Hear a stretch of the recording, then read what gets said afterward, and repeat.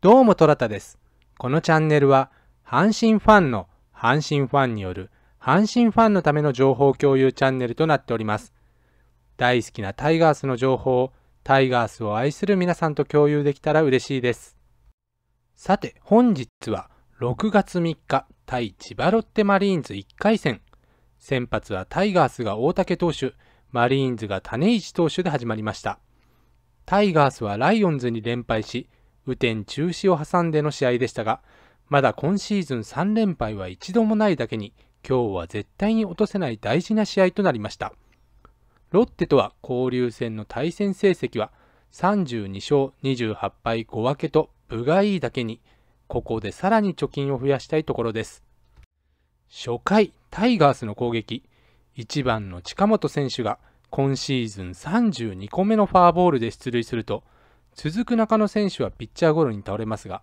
3番ノイジー選手もファーボールで出塁し、ワンアウト1、2塁のチャンス。ここで4番大山選手がセンターバックスクリーンへのスリーランホームランで先制します。これぞ4番という働きで、連敗の嫌な流れを初回から吹き飛ばしてくれました。一方、大竹投手の方は3回までランナーは出すものの危なげないピッチングを披露しますが、迎えた4回、ワンアウトからポランコ選手にセカンド内野安打、茶谷選手、安田選手には2者連続のライト前のポテンヒットで満塁のピンチを迎えますが、ここで7番山口選手から高めのストレートで3球三振を奪うと、続く佐藤選手はセンターフライに抑え、無失点で切り抜けました。その後も大竹投手、種市投手の投げ合いが続き、迎えた7回表、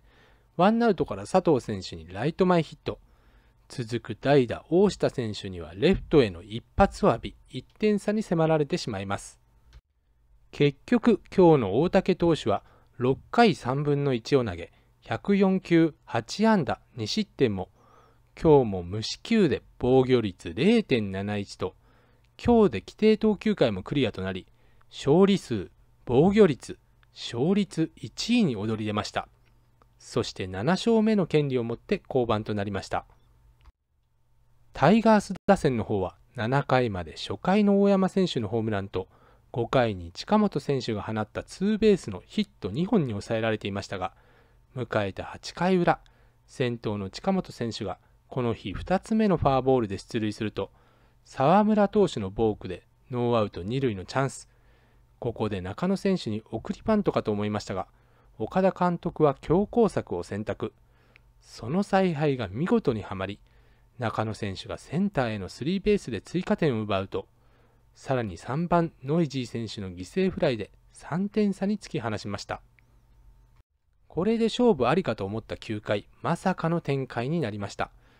マウンドに上がったのは湯浅投手でしたが、先頭の山口選手の何でもないショートゴロ木浪選手がまさかのエラーで出塁を許してしまいます。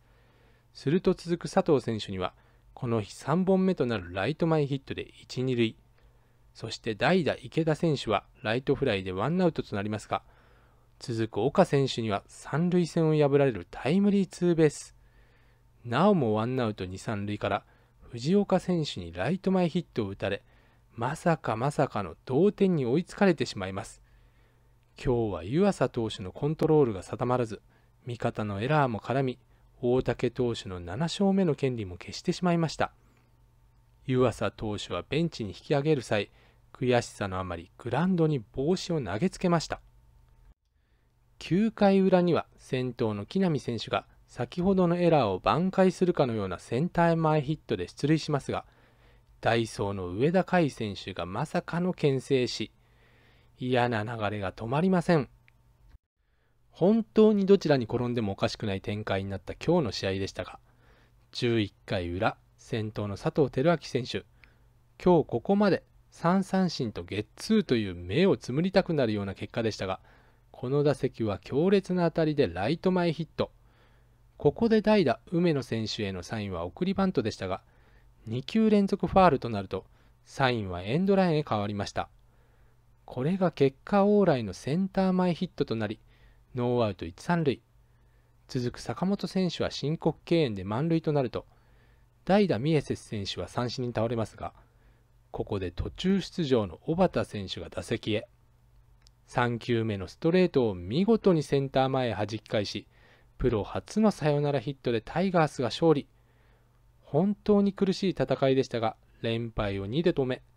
3連敗は今日も免れました。試合後、岡田監督は、もう本当なら1時間前に終わってんのに、今まで大事なとこで出なかったのに、今日は失点に絡むエラー。延長になってからの投手が頑張ってくれた。今日もし負けてたら余計にズルズルいく負けになってたやろな。と、ほっとした表情だったそうです。今日はエラーあり、バント失敗があり、牽制士がありと、ここまでの強かったチームに不安を覗かせました。どうしちゃったんでしょう、タイガース。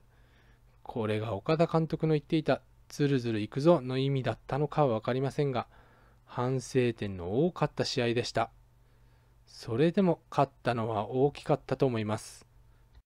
明日はロッテの先発は佐々木朗希投手と厳しい戦いが予想されますが、明日こそはすっきり勝って、再び連勝街道を進んでほしいと思います。さて皆様は本日の試合どのようにご覧になりましたでしょうか？いや、小畑選手のサヨナラヒットは本当に嬉しかったんですが、それでもすっきりしない内容でしたよね。あの強かったタイガースの時と比べるとどうしちゃったんだろうというプレーが多かった気がします。皆様の意見もコメント欄で教えていただけると嬉しいです。さてこれからもどんどんと阪神タイガースの情報皆様と共有していきたいと思っておりますので、ぜひチャンネル登録よろしくお願いいたします。また、今回の動画が良かったと思えていただけた方は、高評価もしていただけると嬉しいです。それでは、トラタでした。